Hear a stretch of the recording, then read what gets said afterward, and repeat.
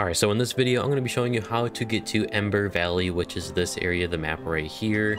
And here it is on the map. I have I just got to it. I just figured out how to get to it, so I thought I would show you guys because it is not too obvious. So first, let me get back to the uh, original island of the game, and then I'll show you how to do it.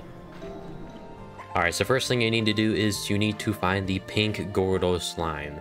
And those are the really big slimes that you give a lot of food. And first I'll show you where to find that. So you're going to come down this road from the conservatory right down here and just follow the path that I go.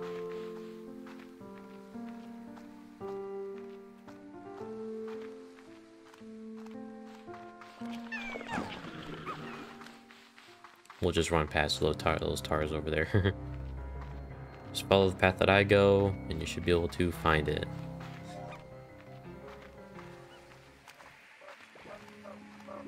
Once you're up here, it should be right down here. Once you come to this area, you're going to take a, uh, a right instead of going straight right here. And it will be right here where this geyser is.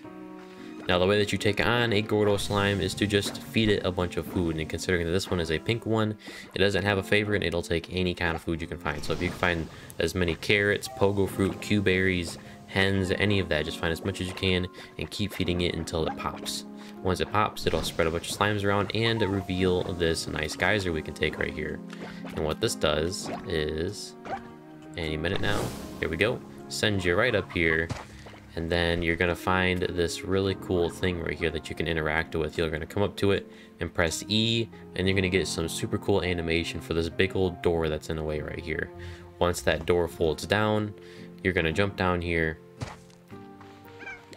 and then bam, you're going to have access to the teleporter, which will take you right on over to Ember Valley.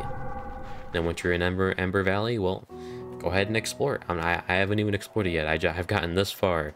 Once I figured out how to do this, I record, I'm recording this video, so yeah. So yeah, get subscribed for more Slime Rancher 2 tutorials in the future. Um, as I learn stuff about this game, I make tutorials on it so uh, to help you guys out. So yeah, get subscribed, and I'll see you guys in the next video. Peace.